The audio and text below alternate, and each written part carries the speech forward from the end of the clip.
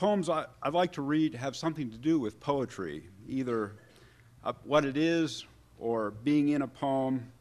And uh, I'm going to start with one uh, by Pablo Neruda, which I think many of you have probably heard, but I just came across it again and uh, I found new things in it at this time. I will say uh, I will read in English, but the edition of Neruda that I see over on the table is bilingual, and so I encourage you to pick it up and to read uh, uh, the Spanish uh, for yourself in this poem and, and uh, of, of his others. This poem is called La Poesia. And it was at that age poetry arrived in search of me. I don't know. I don't know where it came from, from winter or a river. I don't know how or when. No, they were not voices, they were not words, nor silence, but from a street I was summoned, from the branches of night, abruptly from the others, among violent fires, or returning alone. There I was without a face, and it touched me. I did not know what to say, my mouth had no way with names. My eyes were blind, and something ignited in my soul fever or unremembered wings. And I went my own way, deciphering that burning fire. And I wrote the first bare line, bare, without substance, pure foolishness, pure wisdom of one who knows nothing. And suddenly I saw the heavens unfastened and open planets, palpitating plantations, shadow, perforated, riddled with arrows, fire, and flowers, the winding night, the universe, and I, infinitesimal being, drunk with the great starry void, likeness, image of mystery, felt myself a pure part of the abyss. I wheeled with the stars. My heart broke loose on the wind.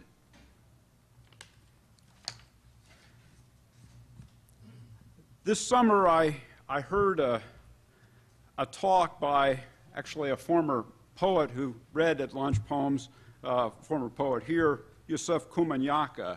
He's visiting in the Bay Area, so many of you may have the opportunity to hear him this year, and I encourage you uh, to do so if you get the, the chance. His most recent book is, I think, Talking Dirty to the Gods uh, but he's very prolific and he may have two or three out by, by the time you get to hear him. In any case, this summer he gave a talk about what poetry meant to him, and uh, for him, uh, poetry was not a language poetry. It kind of started out as a rant against deconstruction, but it very quickly turned into a passionate uh, talk about uh, poetry and jazz, and it was really a plea to expand our notions of what uh, is content, what is form, what is meaning. And it was really quite a beautiful and, and as I said, passionate talk. And so uh, afterwards, I, I was thinking about how challenging his vision was and how expansive. And I tried uh, to put down some notes about his talk and what it meant to me. And it, it uh, uh, forms a poem, the title of which is Blue Note. On the radio, music, rap, a thing I may not like, but this world beat rap, the first number of the Buena Vista Social Club CD, disassembled a melodic disarray, the jazz sampled and riffed again, this time by another band, Cubans, two, three generations younger than the originals, living in Paris who put words and sound back together. After A, after après un, après une mode, the sound, le son, sand on the playa, smell of Gauloise cigarettes dans la rue de Paris, the sheen old metal of 50s American cars running on and on the streets of Havana, bacalao, white sand, and sea of turquoise, the new tricolor, musicians in the tunnels of the metro on coral sands, conch shell and tropical night, Rimbaud and Armstrong rehearsed together a humid release and lease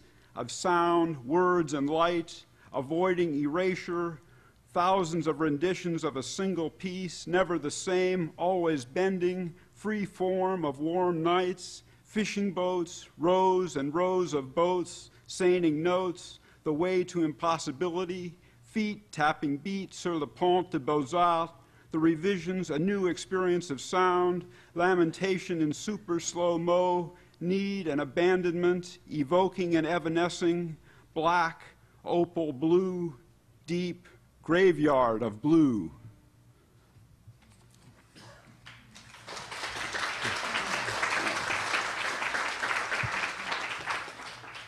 Thank you. Uh, uh, Rumi has already been mentioned. Uh, I was uh, already prepared to uh, uh, read another poem of Rumi's. I think I'd like to uh, close with a very uh, short one and with the uh, observation which uh, was uh, made by Coleman Barks right about this time a year ago. And he, he said that all throughout the Islamic world, Rumi is a known and loved figure, and indeed, even the Taliban allowed and encouraged Rumi's poetry to be played on the on the radio. And in this country, as many of you know, Rumi is the uh, best selling poet. So, uh, with that uh, uh, observation and the hope for tolerance, uh, this is uh, a quatrain, I think. Night comes, then day. Night comes so people can sleep like fish in black water. Night comes, then day. Night comes, then day. Some pick up their tools, others become the making itself. Thank you.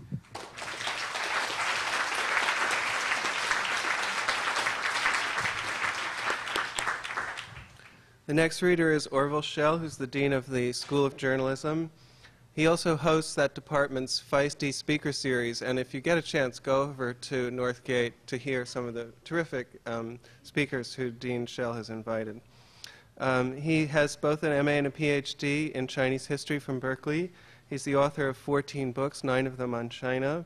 He's also written widely for so many publications, I can't really name them all New York Review of Books, New Yorker, Harper's, Newsweek, and has been a commentator for three TV networks.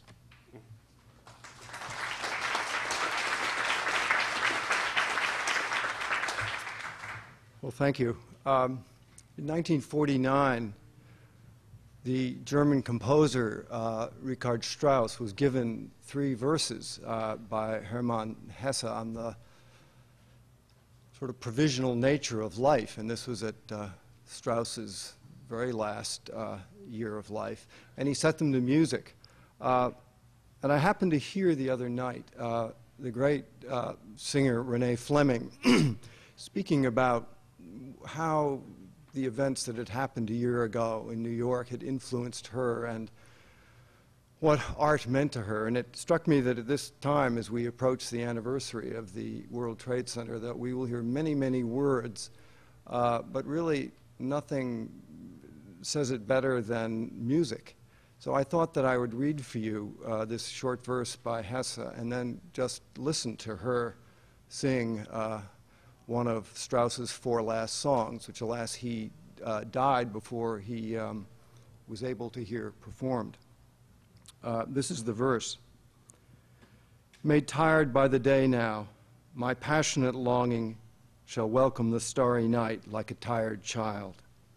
Hands leave all your activity, brow forget all thought, for all my senses are about to go to sleep. And my soul, unguarded, will float freely in order to live in the magic circle of the night, deep in a thousandfold. Jill Stoner, an associate professor of architecture, has put together a very interesting anthology, which you'll see over there, called Poems for Architects. Her local architecture and planning projects include renovations to Lowell High School and the Fillmore Street revitalization. She's been honored by the local branch of the American Institute for Architects, and her current research activity includes architecture as fiction, the derivation of spatial words and Jewish ghettos in Italy.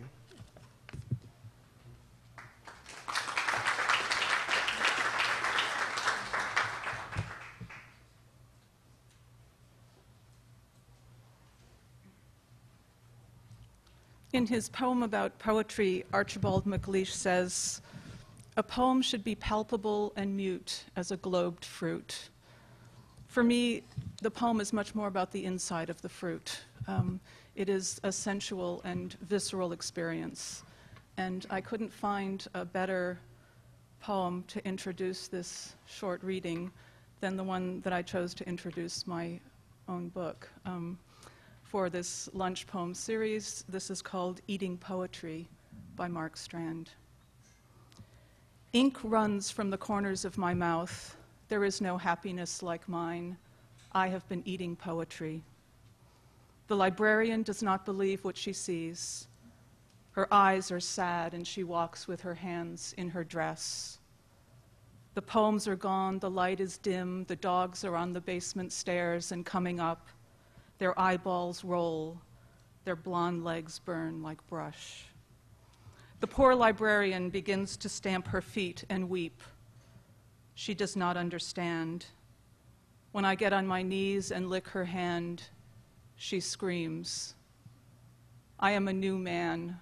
I snarl at her and bark.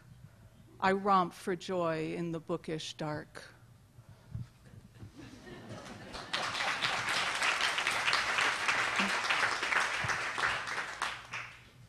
As an architect, um, I am very interested in closed forms or strict forms of poetry. The one that I am most passionate about is the villanelle, a centuries old form, um, presumably begun in the agrarian fields of Italy and sung in rounds. It's one of the forms that found uh, a very, very popular renaissance among 20th century poets. I think because it is a form that, in its circular motion and repetitive um, sequences, it allows us to both express um, a sense of loss and also the hope of redemption. I'm going to read two villanelles. The first is by Jacqueline Osherow. She's a contemporary poet um, teaching in Utah. She writes really beautifully and poignantly about the Holocaust. But this poem um, is actually set in the American suburb. It's called Villanelle for the Middle of the Night. Call it the refrigerator's hum at night, the even breathing of a sleeping house as a halo drifts in from a corner street light. Awake, you train an ear to single out a music jangling just beneath the noise. Call it the refrigerator's hum at night. Since you have no real hope of being accurate, but what you mean is usually as diffuse as a halo drifting in from a corner street light. Tonight, though, it is concentrated intimate, luring you to store up what it says. Call it the refrigerator's hum at night. That, at least, accommodates the feel of it. To try to temper yearning into praise as a halo drifts from a corner street light, tempts an unsuspecting city street with its otherworldly armory of shadows. Call it, the refrigerator hums at night. Call it back. It's drifting, mourns the streetlight. The second is by Elizabeth Bishop. Um, it's a poem about letting go of things. It's called One Art. The art of losing isn't hard to master. So many things seem filled with the intent to be lost that their loss is no disaster. Lose something every day Accept the fluster of lost door keys, the hour badly spent. The art of losing isn't hard to master. Then practice losing farther, losing faster, places and names and where it was you meant to travel. None of these will bring disaster. I lost my mother's watch, and look, my last or next to last of three loved houses went. The art of losing isn't hard to master. I lost two cities, lovely ones, and vaster, some realms I owned, two rivers, a continent. I missed them, but it wasn't a disaster. Even losing you, the joking voice, a gesture I love, I shan't have lied. It's evident the art of losing's not too hard to master, though it may look like, write it, like disaster. Part of my um, book assembles poems, um, I call them city poems, poems with images that I think are healthy ones for us um, trying to figure out how to work in our cities today. I want to read one by um, a Bay Area poet, Diana O'Hehir, called The Retarded Children Find a World Built Just for Them. The doors of that city are 90 feet high. On their panels are frescoes of ships, of mountains. Inside is the children's kingdom, where the mad ones, the foot draggers, garglers, askew as a tower of beads, are sustained by the air. Buildings like great gold chains emboss themselves around the crazy children, their jewels. The children turn and turn like dancers. Their sweaters whirl out at their waists. Their long chopped hair scrapes the sides of the archways. They're happy. They're famous. They walk on the streets in crystal shoes. Lapis flows in the gutters. Around the edge of each building, there is a scarlet halo. And those children with eyes like scars, with tongues sewed to the roofs of their palates, with hands that jerk like broken backed squirrels, feed the writing of light from the buildings. They forgive us 90 times over. They sing and sing like all the birds of the desert.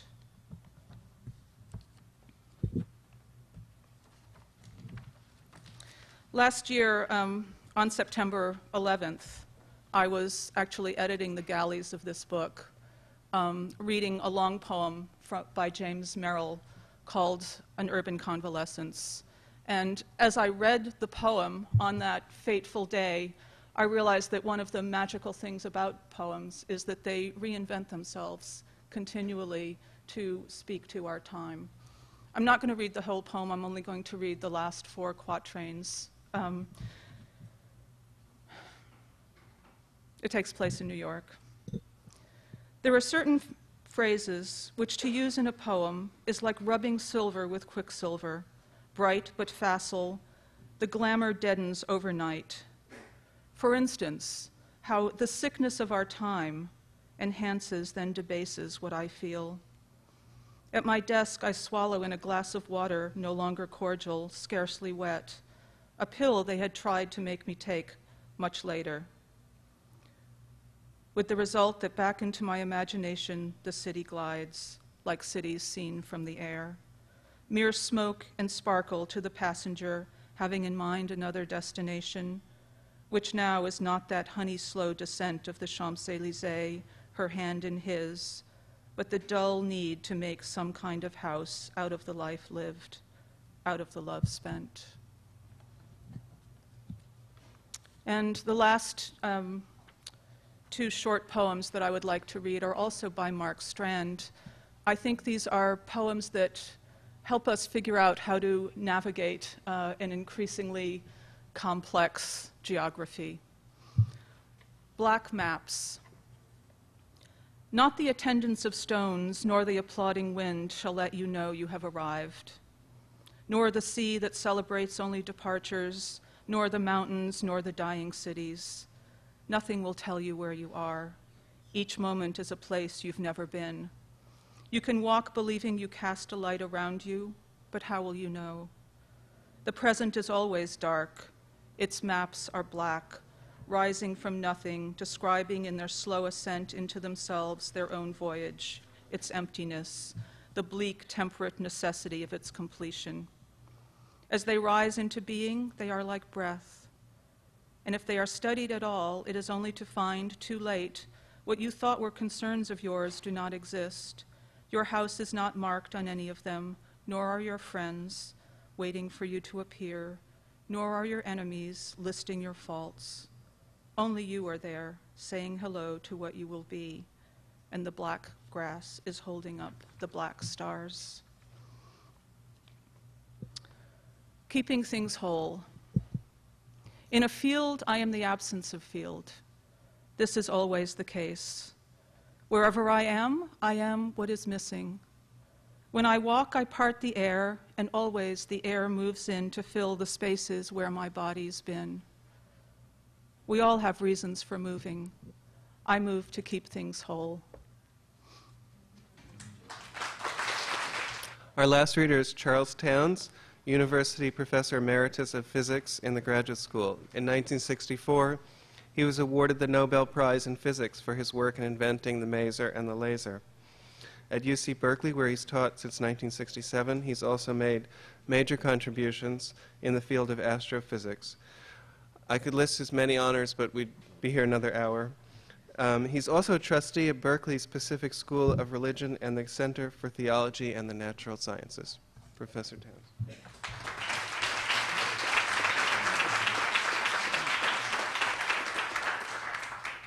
Thank you. I'm very pleased to be here and participate in this. I'm going to read today some selections from Alexander Pope's essay on man. Um, Pope, of course, lived almost three centuries ago, uh, and yet his ideas have a really remarkable permanent validity. I'm particularly impressed by the, his ideas on science, because we think of science as something of this generation, uh, but you'll see his concepts were really uh, still very valid. Now, the essay on man is a very long poem. I'm going to read only a few selections. Uh, it's divided into four parts. The title of each part I will read. This first part is the nature and state of man with respect to the universe. He who through vast immensity can pierce, see worlds on worlds compose one universe, observe how system into system runs, what other planets circle other suns, what varied being peoples every star, may tell why heaven has made us as we are. Now, Pope recognizes the remarkable potential of humans. At the same time, you'll see he countermands that with pointing out our really sad weaknesses. Presumptuous man, the reason wouldst thou find why form so weak, so little, and so blind? First, if thou canst, a harder reason guess, why form no weaker, blinder, and no less? Ask of thy mother earth, why oaks are made, taller or stronger than the weeds they shade? Or ask of yonder argent fields above, why Jove's satellites are less than Jove? The second section is the state of man with respect to himself as an individual. Know then thyself, presume not God to scan, the proper study of mankind is man. Placed on this isthmus of a middle state, a being darkly wise and rudely great, with too much knowledge for the skeptic side, with too much weakness for the stoic's pride, he hangs between, and doubts to act or rest, in doubts to deem himself a god or beast, in doubt his mind or body to prefer, born but to die and reasoning but to err, alike in, in ignorance his reason such, whether he thinks too little or too much. Chaos of thought and passion, all confused, still by himself abused or disabused, created half to rise and half to fall, great Lord of all things, yet a prey to all sole judge of truth, in endless error hurled, the glory, jest, and riddle of the world. Go, wondrous creature, mount where science guides, go measure earth, weigh air, and state the tides, instruct the planets in what orbs to run, correct old time, and regulate the sun. Go soar with Plato to the ethereal sphere. Go, teach wisdom how to rule then drop into thyself and be a fool.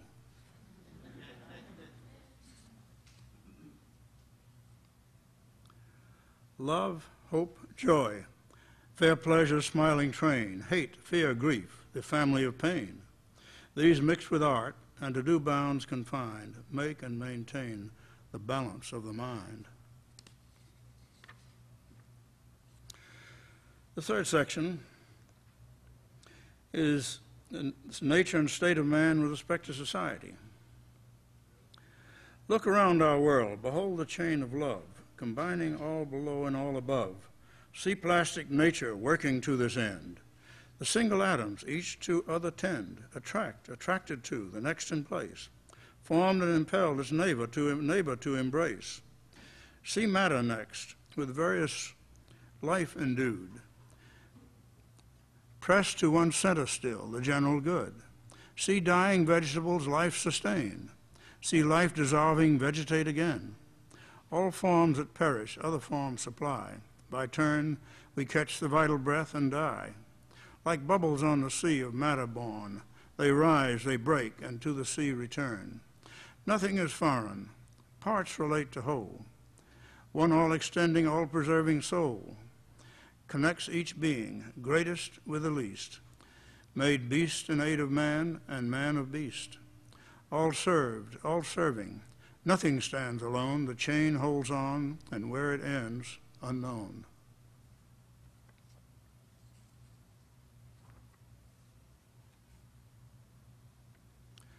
So drives self love through just and through unjust, to one man's power, ambition, lucre, lust. The same self love in all becomes the cause of what restrains him government and laws. For what one likes, if others like as well, what serves one will when many wills rebel?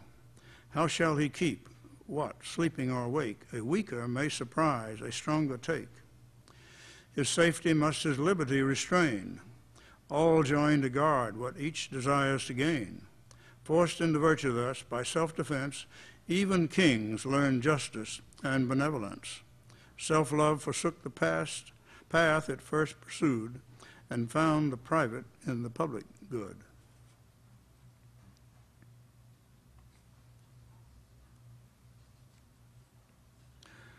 And now the fourth section, nature and the state of man with respect to happiness. Know all the good that individuals find are God and nature meant to mere mankind. Reason's whole pleasure, all the joys of sense, lie in three words health, peace, and competence. But health consists with temperance alone, and peace, O virtue, peace is all thy own. The good or bad, the gifts of fortune gain, but these less taste them as they worse obtain. Say, in pursuit of profit or delight, who risks the most, that take wrong means or right, of vice or virtue, whether blessed or cursed, which meets contempt or which compassion first. Count all the advantage prosperous vice attends, attains. Tis but what virtue flies from and disdains. And grant the bad what happiness they would. One they must want, which is to pass for good. Thank you. So without further ado, I'm going to introduce um, Robert Hass, former U.S. Poet Laureate and professor in the English department, who will begin today's program.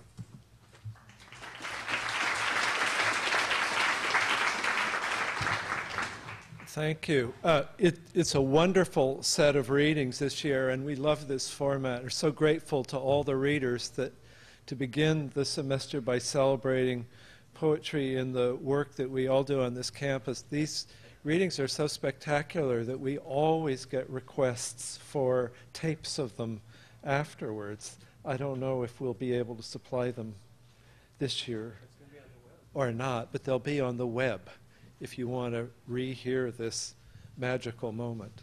Um, one of our colleagues, dearly beloved, a, terrific force for poetry on this campus and in the world and for social justice, June Jordan died this past spring, and uh, we miss her.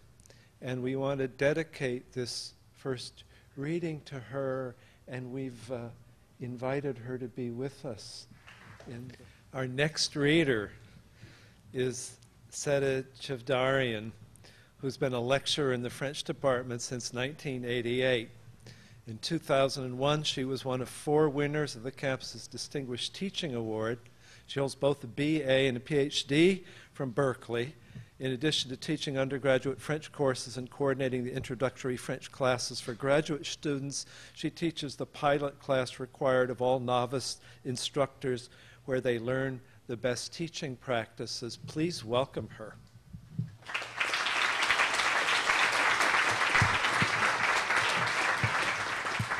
Thank you. My secret wish is to stay and be left alone in Morrison Library after closing time. I'm delighted to be here. This is my oasis on campus. Um, for my reading today, I have chosen two po- poems from two poets from opposite ends of the world, uh, both writing in very different style but conveying the same message. And the message is the reason that I chose these two poems. One in English by Ma- Maya Angelou, and the other one by a francophone poet from Cameroon, René Philombe. I will read Maya Angelou's poem first, and then a quick translation of the French poem, and then with the reading of the French poem in the original language. Human Family by Maya Angelou. I note the obvious differences in the human family. Some of us are serious, some thrive on comedy. Some declare their lives are lived as true profundity, and others claim they really live the real reality. The variety of our skin tones can confuse, bemuse, bemo- delight, brown and pink and beige and purple, tan and blue and white. I've sailed upon the seven seas and stopped in every land. I've seen the wonders of the world, not yet one common man. I know 10,000 women called Jane and Mary Jane, but I've not seen any two who really were the same. Mirror twins are different, although their features jibe, and lovers think quite different thoughts while lying side by side. We love and lose in China, we weep on England's moors, we laugh and moan in Guinea, we thrive on Spanish shores. We seek success in Finland, are born and die in Maine. In minor ways, we differ. In major, we're the same. I note the obvious differences between each sort and type, but we are more alike, my friends, than we are unalike. We are more alike, my friends, than we are unalike. We are more alike, my friends, than we are unalike. Now I will very quickly read my own translation of the French poem. It's called L'homme qui te ressemble, The Man Who Resembles You, by René Philombe from Cameroon. I knocked on your door, I knocked on your heart to have a place to sleep, to have some warmth. Why push me away? Open the door, my friend. Why do you ask me if I'm from Africa, if I'm from Asia, if I'm from America, if I am from Europe? Open the door, my friend. Why do you want to know the length of my nose, the thickness of my mouth, the color of my skin, and the name of my gods? Open the door, my friend. I am not black, I am not red, I am not yellow, I am not white, but I am simply a man. Open the door, my brother. Open your door, open your heart, because I am a man, the man of all times, the man of all heavens, a man just like you. And here's the French.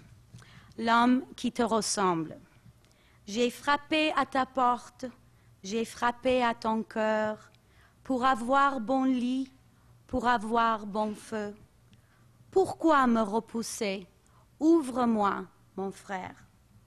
Pourquoi me demander si je suis d'Afrique, si je suis d'Amérique, si je suis d'Asie, si je suis d'Europe? Ouvre-moi, mon frère. Pourquoi me demander la longueur de mon nez, l'épaisseur de ma bouche, la couleur de ma peau et le nom de mes dieux? Ouvre-moi, mon frère. Je ne suis pas un noir, je ne suis pas un rouge, je ne suis pas un jaune, je ne suis pas un blanc, mais je ne suis qu'un homme. Ouvre-moi, mon frère. Ouvre-moi ta porte, ouvre-moi ton cœur, car je suis un homme, l'homme de tous les temps, l'homme de tous les cieux, l'homme qui te ressemble. Merci.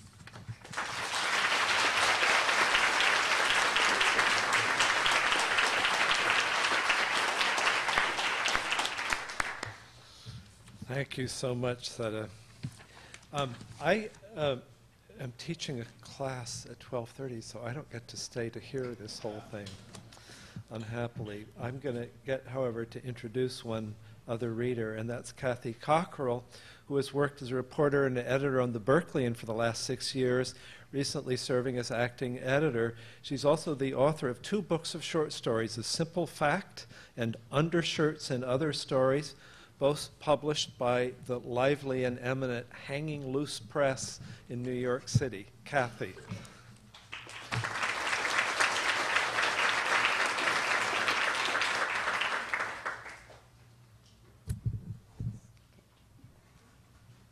Um, I was just asked if I was Adrienne Rich, so this is a special moment. um, each Thursday, I leave work at the um, dot of 5 p.m. to meet up with the carpool that goes to Marin County. For the past year, I've been a volunteer teaching assistant at San Quentin State Prison for an associate's degree um, college program run entirely by volunteers, many of them from UC Berkeley. As you might imagine, it's both challenging and very strange to be a teacher or a student inside a prison. The Department of Corrections book um, of rules and regulations is 203 pages long. It's got very tiny print, and on any given day, any one of its hundreds of rules um, could potentially keep the students from getting to the classroom or the teachers from getting, getting inside the gate. When all goes well and the students and volunteers tears all make it to the amazingly decrepit building called the uh, Education Building, my three years in the three hours in the classroom are always very moving and at least as educational to me as they are to the prisoners. The first, first poem I'd like to read is by Elmo Chapman Jr. It was written in a, a poetry workshop in San Quentin in the 1980s. Um, the leader of the workshop, um, Judith Tannenbaum, later borrowed the title of the poem, disguised as a poem, for a memoir for years as a community artist at, at San Quentin. Um, Chapman is still uh, inside prison. He's in the uh, state prison in Vacaville, and his work is available on the web. Disguised as a poem. In Birkenstocks and handcrafted earrings, still living a life from the 60s, you enter this poem, you enter this place, this dungeon, this dust bowl on the edge of the bay where 3,000 men wait for the sweet rain called freedom. You walk a path from the front gate across the garden plaza. Your pale feet step softly upon the spots where angry men have died. Don't let the pink and yellow roses fool you. This is not a pretty place. Two flights down, you wait for us to come, bearing the fruits and scars of our embattled lives, disguised as poems, scrawled on bits of paper last week in a cell when sleep was hard to find. For three hours in that basement room, we are cut off, a million miles away from your daughter and your cat, a hundred yards from death row. For three hours, we joust, we orbit around each other, wrestling with words. We make love with words, we grow close. We meet in a place called poetry, one woman and a few captured men. We speak of poems and grasp at them like straws until it is time to go. Two flights up, the cool night air greets us. There are always those few tight minutes waiting for count to clear and the inevitable parting of the ways. We could go have coffee and speak of poems all night, but your daughter will miss you, and I must be back in my cell before 10. It is always the same. For three hours, you or Favia or Sharon or Scoop manage to get close to me, only to be peeled away like the bark from a young tree, leaving behind a little spot, bare and vulnerable, that does not want to see you go, but will die of exposure long before you return. Um, the following piece is by the great 20th century Turkish poet Nazım Hikmet, who spent 13 years as a political prisoner and whose work was banned for three decades. In 1949, he wrote this poem, translated here from the Turkish. Some advice to those who serve time in prison. If instead of being hanged by the neck, you're thrown inside for not giving up hope in the world, your country, and people, if you do 10 or 15 years apart from the time you have left, you won't say, Better I had hung, swung from the end of a rope like a flag. You'll put your foot down and live. It may not be a pleasure exactly, but it's your solemn duty to live one more day despite the enemy. Part of you may live alone inside like a stone at the bottom of a well, but the other part of you must be so caught up in the flurry of the world that you shiver there inside when outside, at 40 days' distance, a leaf moves. To wait for letters inside, to sing sad songs, or to lie awake all night staring at the ceiling is sweet but dangerous. Look at your face from shave to shave. Forget your age. Watch out, watch out for lice and for spring nights. And always remember to eat every last piece of bread. And don't forget to laugh heartily. And who knows? The woman you love may stop loving you. Don't say it's no big thing. It's like the snapping of a green branch to the man inside. To think of roses and gardens inside is bad. To think of seas and mountains is good. Read and write without rest, and I also advise weaving and making mirrors. I mean, it's not that you can't pass 10 or 15 years inside and more. You can, as long as the jewel on the left side of your chest doesn't lose its luster.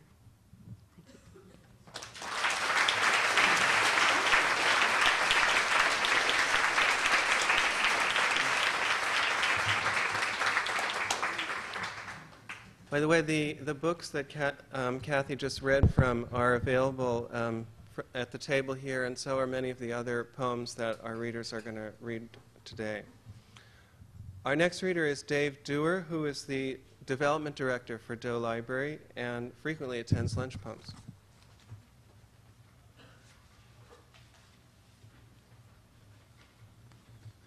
And I was thinking I've actually published something. Was in the summer of 1958 in the Aunt Elsie column of the Oakland Tribune, and it was called Sonny Blakewell's Grand Slam Home Run, and it was about the angst and existentialistic view of facing curveballs as a 12 year old. It's also the same time that I read this poem for the last time in public at the uh, Victoria Street Variety Show in my parents' garage, where we used to charge three cents for people to come and hear us do things like that, and, and they came. I'm going to read Robert Service, and he's not probably regarded as you know a great poet, but I, I wanted to read just something briefly from his uh, an obituary that appeared when he died, actually on my birthday, September 16th, 1958. Uh, he was a poet's poet. To the people, he was great.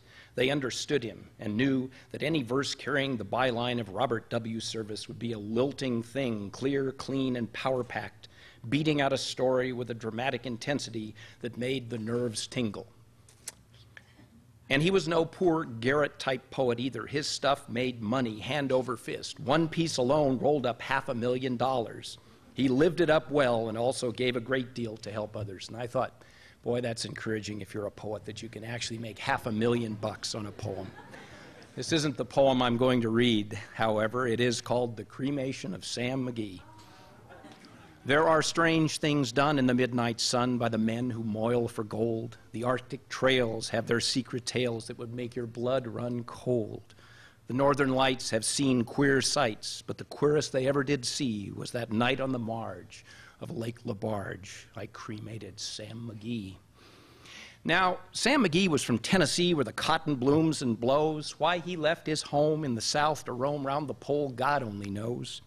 He was always cold but the land of gold seemed to hold him like a spell. Though he'd often say in his homely way that he'd sooner live in hell. On a Christmas day, we were mushing our way over the Dawson Trail. Talk of your cold. Through the parka's fold, it stabbed like a driven nail. If our eyes we'd close, then the lashes froze till sometimes we couldn't see. It wasn't much fun, but the only one to whimper was Sam McGee. And that very night, as we laid packed tight in our robes beneath the snow, and the dogs were fed and the stars overhead were dancing heel and toe. He turned to me and Cap, says he, I'll cash in this trip, I guess. And if I do, I'm asking that you won't refuse my last request. Well, he seemed so low that I couldn't say no. Then he says with a sort of moan, It's the cursed cold, and it's got right hold till I'm chilled clean through to the bone. It tain't being dead. It's my awful dread of the icy grave that pains. So I want you to swear that foul or fair, you'll cremate my last remains. Well, a pal's last need is a thing to heed, so I swore I would not fail. And we started on at the streak of dawn, but God, he looked ghastly pale. He crouched on the sleigh and he raved all day of his home in Tennessee, and before nightfall, a corpse was all that was left of Sam McGee. There wasn't a breath in that land of death, and I hurried, horror driven, with a corpse half hid that I couldn't get rid because of a promise given. It was lashed to the sleigh, and it seemed to say, You may tax your brain and brawn, but you promise true, and it's up to you to cremate those last remains. Now, a promise made is a debt unpaid, and the trail has its own stern code. In the days to come, though my lips were dumb, in my heart how I cursed that load. In the long, long night, by the lone firelight, while the huskies round in a ring howled out their woes to the homeless snows. Oh, God, how I loathed the thing. And every day that quiet clay seemed to heavy and heavier grow. And on I went, though the dogs were spent and the grub was getting low. The trail was bad, and I felt half mad, but I swore I would not give in, and I'd often sing to the hateful thing, and it hearkened with a grin. Till I came to the marge of Lake Lebarge, and a derelict there lay. It was jammed in the ice, but I saw in a trice it was called the Alice May. And I looked at it and I thought a bit and I looked at my frozen chum. Then here, says I with a sudden cry, is my crematorium. Some planks I tore from the cabin floor and I lit the boiler fire. Some coal I found that was lying around and I heaped the fuel higher. The flames just soared, the furnace roared, such a blaze you seldom see. And I burrowed a hole in the glowing coal and I stuffed in Sam McGee. Then I made a hike for I didn't like to hear him sizzle so, and the heavens scowled, and the huskies howled, and the wind began to blow. It was icy cold, but the hot sweat rolled down my cheeks, and I don't know why. And the greasy smoke in an inky cloak went streaking down the sky. I do not know how long in the snow I wrestled with grisly fear, but the stars came out and they danced about her. Again, I ventured near. I was sick with dread, but I bravely said, I'll just take a peep inside. I guess he's cooked. And it's time I looked, and the door I opened wide, and there sat Sam, looking cool and calm in the heart of the furnace roar. And he wore a smile you could see a mile, and he said, Please close that door. It's fine in here, but I greatly fear you'll let in the cold and storm. Since I left Plumtree down in Tennessee, it's the first time I've been warm. There are strange things done in the midnight sun by the men who moil for gold. The Arctic trails have their secret tales that would make your blood run cold. The northern lights have seen queer sights, but the queerest they ever did see was that night on the marge of Lake Lebarge that I cremated Sam McGee. Thank you.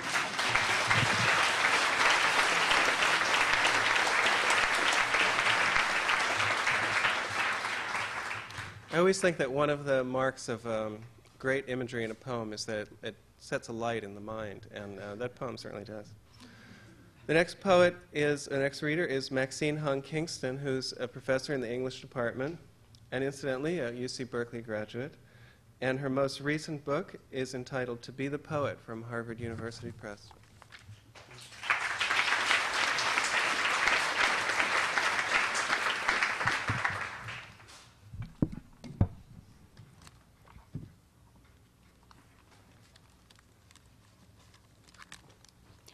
Welcome to a to the beginning of another uh, a school year. It's at a time like this when we plunge into the studying and the learning and the teaching, and we forget about the poetry. And so today I would like to uh, give you or remind you of, um, of keeping the poet alive. Uh, and um, I have uh, two methods for doing that. Uh, the first method is to um, stop whatever you're doing and take a deep breath and write a four word poem. I have a collection of four word poems in To Be the Poet. So uh, I'm going to read, uh, oh, maybe about 30 of them. Idea four word poems, an old Chinese tradition. easier, faster than haiku, to carve on rocks, to write on door jambs, to write on thresholds, to tattoo on arms. Anybody can write one. Form takes no time. Father Sky, Mother Earth. Um, Father Sky, Mother Earth is the way the Pueblo Indians address two of the four, uh, two of the six directions.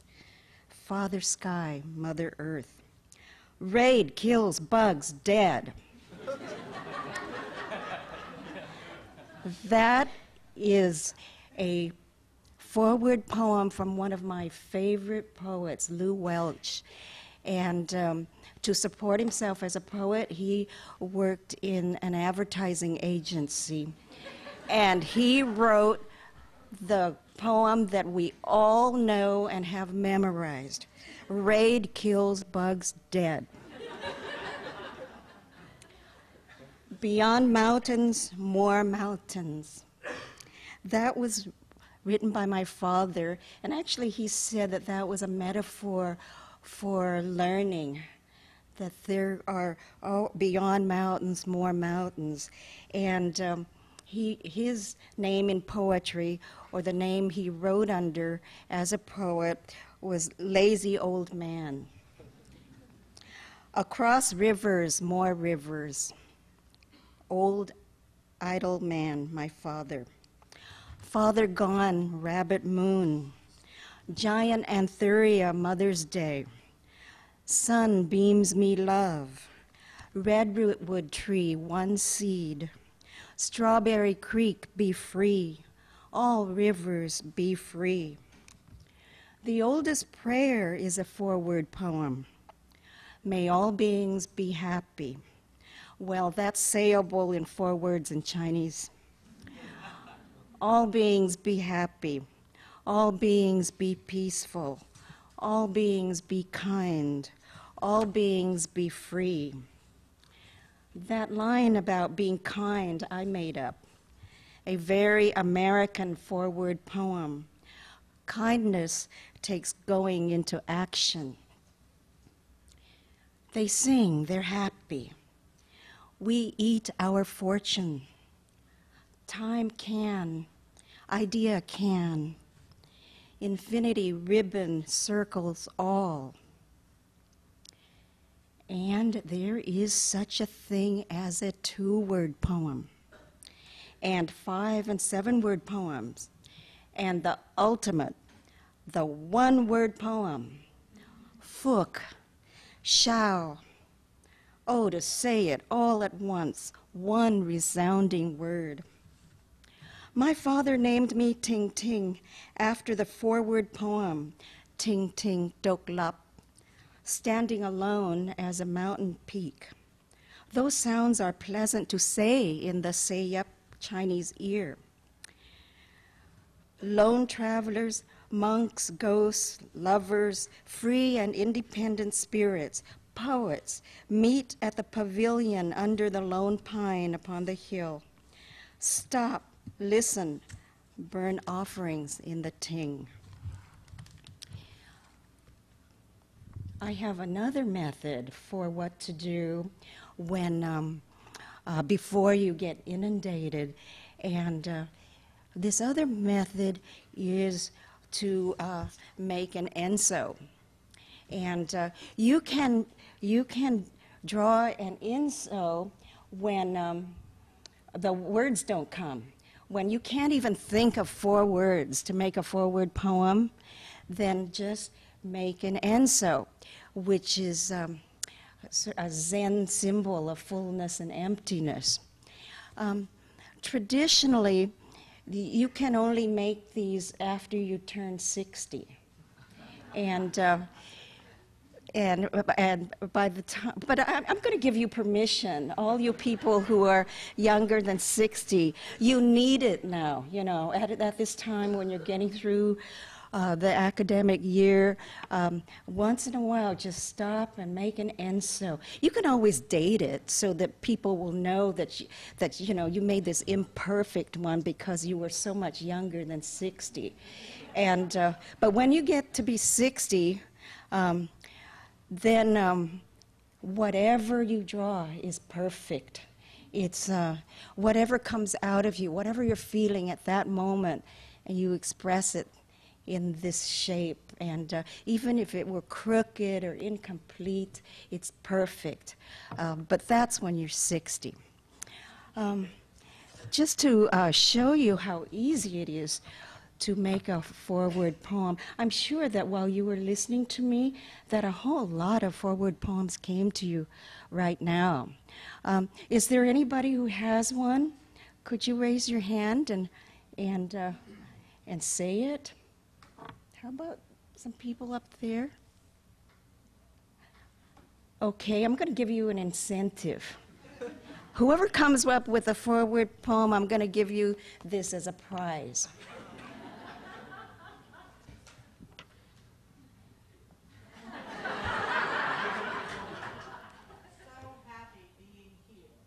Good. So happy being here.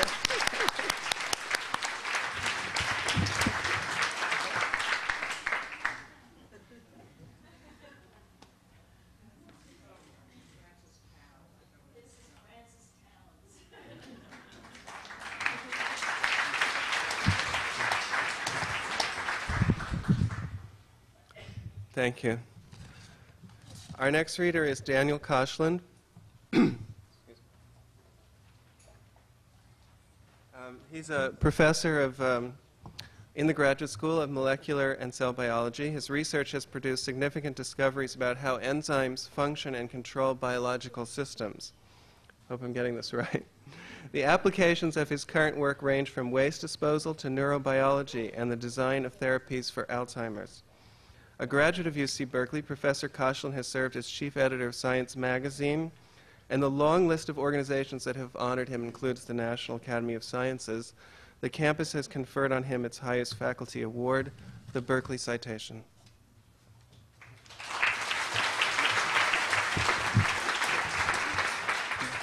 Thank you. It's a pleasure to be here. And I'm in a poetic mood because. Rogo sent me a notice that I have to sign something swearing that I was over 18. And, uh, you know, at my age, it's really fun to have to swear you're over 18. but it's a pleasure to be here, and I um, picked four, three poems to express different aspects of what I consider poetry. One tells you about the insight into what makes a scientist exciting, why it's exciting to be a scientist. One is one of, I think, the great love poems of the English language, and the third is one that tells a little story. So the first one is the Maxwell Anderson's poem, which says, On this star, in this hard star adventure, knowing not what the fires mean to right and left, nor whether a meaning was intended or presumed, man can stand up and look out blind and say, in all these turning lights I find no clue, only a masterless night, and in my blood no certain answer. Yet is my mind my own, yet is my heart a cry towards something dim and distance, which is higher than I am, and makes me mass and makes me emperor of the endless dark, even in seeking. The second is the love poem by Lord Byron, She Walks in Beauty. She walks in beauty like the night of cloudless climes and starry skies, of all that's best and dark and bright, what meets in her aspect and her eyes, thus mellowed to that tender light which heaven to gaudy day denies. One shade the more, one ray the less, had half impaired the nameless grace which waves in every raven tress and softly lightens o'er her face where thoughts serenely excuse me where thoughts serenely sweet express how pure how dear their dwelling place. And on that cheek and o'er that brow, so soft, so calm, yet eloquent, the smiles that win, the tints that glow, and tell of days of goodness spent, a mind at peace with all below, a heart whose love is innocent. And finally, the story by Eliot Thayer, Casey at the Bat. It looked extremely rocky for the Mudville Nine that day. The score stood four to six with one inning left to play. And so when Casey died at first, and Barrows did the same, a pallor wreathed, wreathed the features of the patrons of the game. A straggling few got up to go, leaving those, leaving there the rest, with hope which springs eternal within the human breast. For they thought if only Casey would get a whack at that, they'd put up even money with Casey at the bat. But Flynn preceded Casey, and, so, and likewise so did Blake, and the former was a pudding and the latter was a fake. So that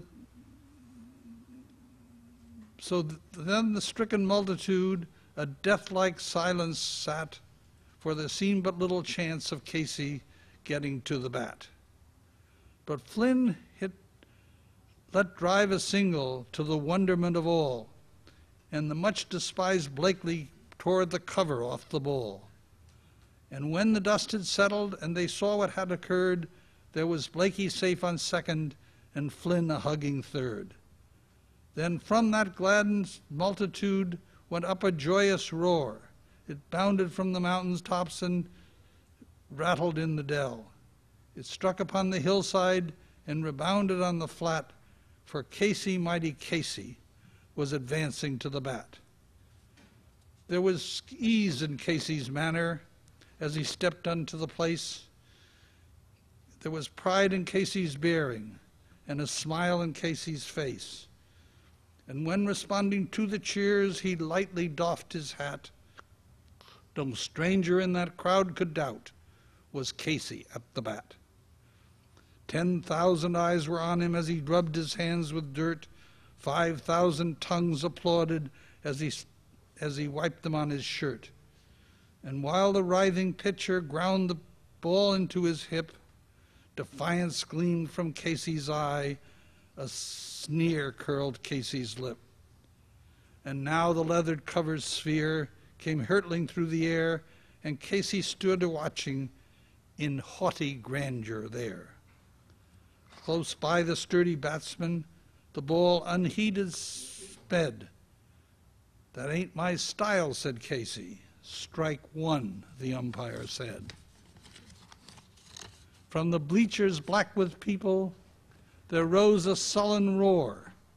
From the beating of the storm waves, like the beating of the storm waves on a stern and distant shore. Kill him, kill the umpire, shouted someone from the stand, and it's likely they would have done it had not Casey raised his hand. With a smile of Christian charity, great Casey's visage shone. He stilled the rising multitude, and he bade the game go on. He signaled to the pitcher, and again the spheroid threw, but Casey still ignored it, and the umpire said, Strike two. Fraud, yelled the maddened multitude, and the echo answered, Fraud. But one scornful look from Casey, and the audience was awed. They saw his face grow stern and cold. They saw his muscles strain. And they knew that Casey would not let that ball go by again. The sneer is gone from Casey's lip. His teeth are clenched with hate. He pounds with cruel violence his bat upon the plate. And now the pitcher has, holds the ball, and now he lets it go, and now the air is shattered with the force of Casey's blow. Oh, somewhere in this lovely land, that sun is shining bright. The band is playing somewhere, and somewhere hearts are light, and somewhere men are laughing, and somewhere children shout. But there is no joy in Mudville. Mighty Casey has struck out.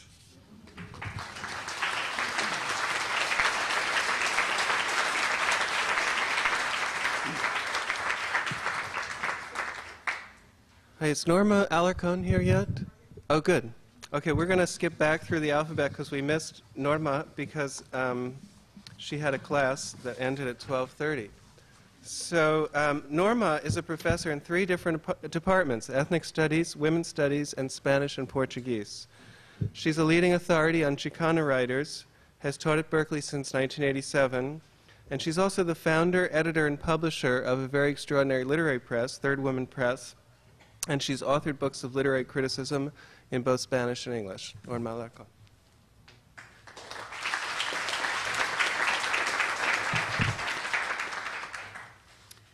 Uh, I came over here from, from my class. And uh, let me see where, oh, here they are. my equipment here, my books for the poems that I selected for today. Um,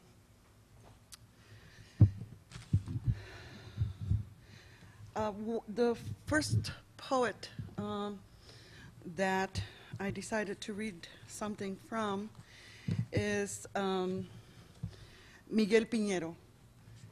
Actually, he's not Chicano, he's Puerto Rican from New York City.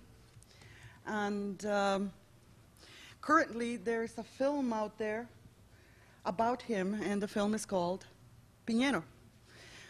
Um, I don't know if you've had a chance to see it. Uh, it's one of those films that you know stays about three days at the local theater, maybe five, and then goes on.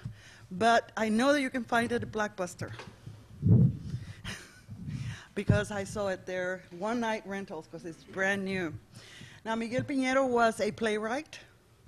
Uh, and uh, he uh, was one of the first Latinos to have uh, a very successful play um, uh, and won an Obie for his play called Short Eyes, which is also a film um, that you might want to see.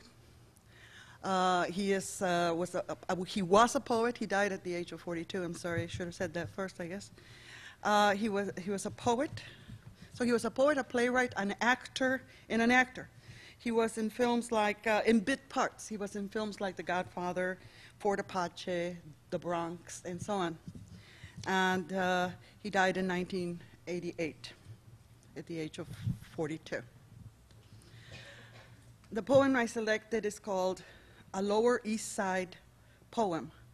The Lower East Side um, for Puerto Rican artists and performers in New York is it's like uh, the creates the artistic uh, synergy for um, for everyone, not just Puerto Ricans but all Latinos, and it is a very uh, loved ghetto. I, I, once went there to the Puerto Rican uh, Puerto Rican Poets Cafe, and the taxi driver was not sure he wanted to take me there uh, because he doesn't go in that neighborhood a Lower East Side poem. Just once before I die, I want to climb up on a tenement sky, to dream my lungs out till I cry, then scatter my ashes through the Lower East Side. So let me sing my song tonight. Let me feel out of sight and let all eyes be dry when they scatter my ashes through the Lower East Side. From Houston to 14th Street, from 2nd Avenue to the mighty D, here the hustlers and suckers meet. The faggots and freaks will get all high on the ashes that have been scattered through the Lower East Side. There's no other place for me to be. There's no other place that I can see. There's no other town around that brings you up or keeps you down. No food, little heat sweeps by. Fancy cars and pimps, bars and juke saloons, and greasy spoons make my spirits fly. with my ashes scattered through the Lower East Side. A thief, a junkie, I have been, committed every known sin, Jews and Gentiles, bums and men of style, runaway child, police shooting wild, mothers futile, futile wails, pushers making sales, dope wheelers and cocaine dealers smoking pot. Streets are hot and feet of those who bleed to death.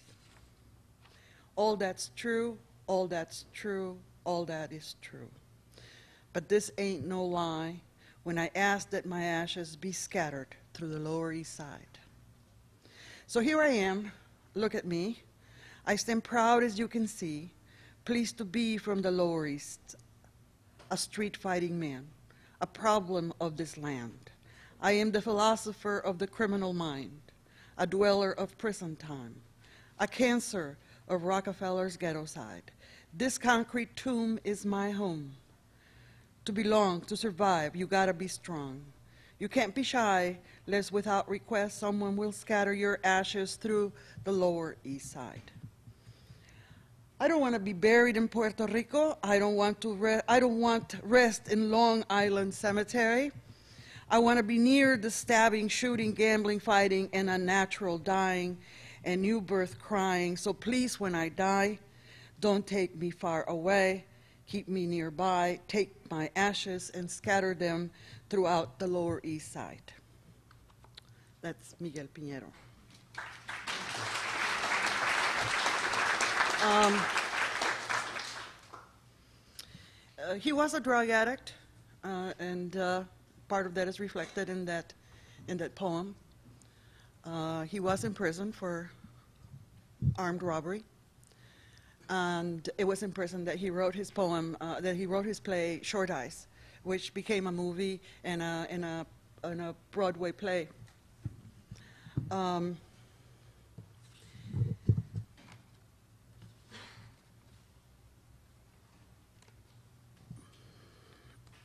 And the movie Piñero, although um, although it has, for example, some of the um, dis- uh, distressful aspects of rec- um, Requiem for a Dream, I don't know if you saw that, uh, has the spirit and the uplift that, that this poem has, despite its its uh,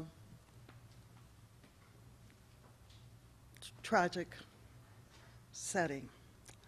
Um, and the other poem I selected to finish up, to, fin- to, to finish up here, is uh, uh, quatrains of Rumi um, from Unseen Rain. Uh, I like uh, I like Rumi because, Frank, I don't have to be responsible to anyone for this for these poems. In other words, Rumi's poems not only delight me and please me, but nobody will ever ask me anything uh, to be in any way responsible for it, their interpretation, their location, their their emergence, their history, or anything of this kind. You know. So um, and also they're only four lines long, uh, these quatrains, and um, and each one of them, uh, you know, um, has some kind of I don't I don't know what you might call it, wisdom for the day or for the week. Uh, so here are at least a couple. I am filled with you, skin, blood, bone, brain, and soul. There's no room for lack of trust or trust. Nothing in this existence but that existence. And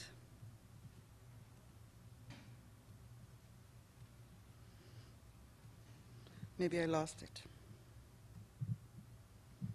I think I lost it. So.